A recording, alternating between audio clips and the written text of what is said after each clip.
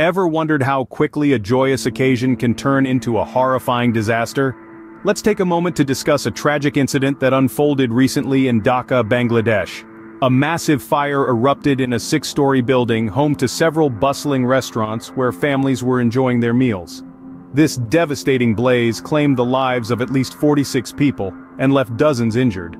Fire authorities believe that a gas leak or a stove may have sparked the fire, which then rapidly spread from a biryani restaurant.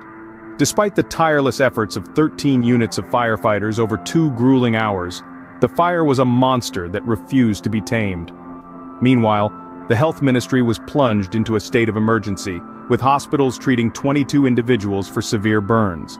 The health minister, a renowned physician, himself confirmed that each of these people was in a critical condition.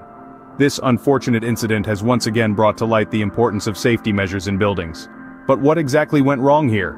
The aftermath of the fire left a trail of heartbreak and devastation. Let's delve into the personal stories that emerged from this tragedy.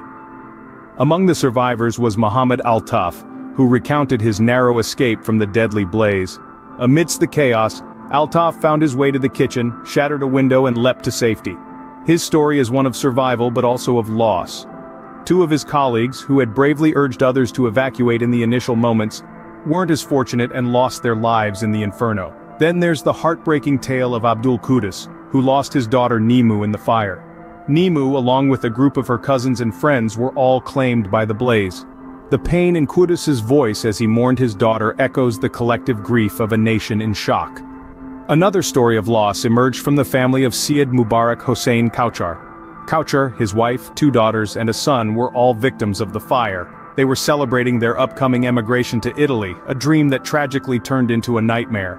The poignant words of Kauchar's cousin, Atikur Rahman, resonate deeply. Finally the dream was going to be fulfilled. They came to a restaurant but all died. As we mourn the loss of these innocent lives it's crucial to ask, could this have been prevented? In the wake of this tragedy, the need for stringent safety measures in buildings has been greatly underscored. The building, which became a death trap for many, was riddled with safety shortcomings. It housed gas cylinders on every floor, even on the stairways, a disaster waiting to happen. The building's design further complicated the situation with only a single staircase and a severe lack of ventilation and emergency exits. Prime Minister Sheikh Hasina's call for strict adherence to construction rules and regulations rings louder now than ever before. These requirements for essential safety features such as fire exits and ventilation systems are not mere suggestions, they're lifesavers. In response to this catastrophe, the government has taken proactive steps. A five-member panel has been established to thoroughly investigate the incident, pinpoint the lapses, and ensure they're not repeated in the future. This tragic incident serves as a stark reminder of the dire consequences of neglecting safety measures in buildings. Let's hope that this incident prompts a much-needed change in safety regulations, not just in Bangladesh, but around the world.